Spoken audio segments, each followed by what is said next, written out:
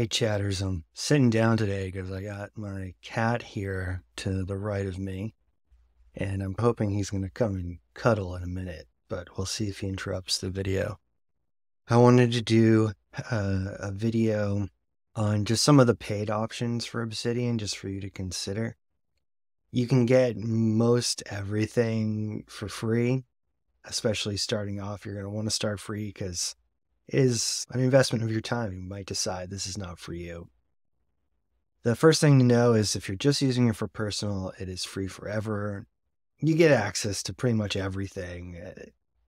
It's going to be the best option for 99 or 90% of you or whatever, especially again in the beginning. But something to mention here is that if you are using it commercially, you have a business that you're using it for, or you're running, it is 50 per user per year. Now, obviously, they're not like you're you're not going to get a slap on the wrist or, or barred if they find out you're lying. I don't think they have any way to really know. But to be honest, if you're using it to make money, essentially, just pay the fifty bucks.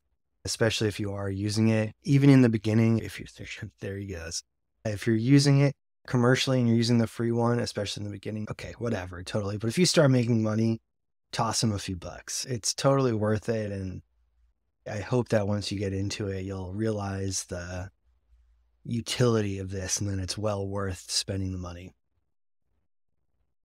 Then we got a couple add ons I want to talk about. This is the one that you're probably going to want to do if you move forward, whereas this one's a little bit different and probably not. Depends on what you're doing, but sync is exactly what you think it is all your notes on all your devices.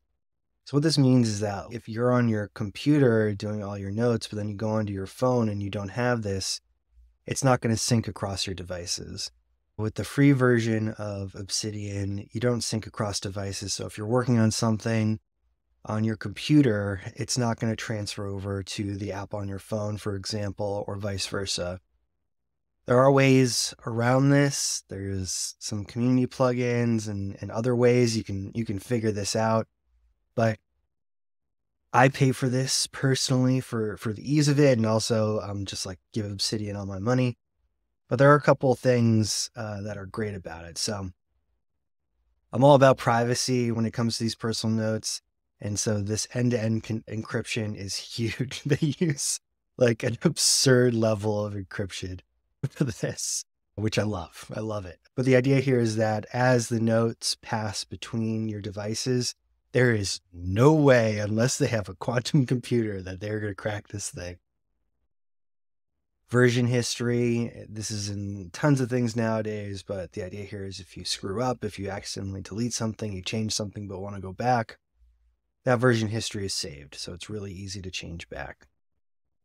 Cross platform, so it doesn't matter if you're using Mac, Apple, Android, whatever, it's all going to work. Very easy and working offline sync later. So if you don't have internet access, it doesn't matter. Once you do have internet access, it updates everything.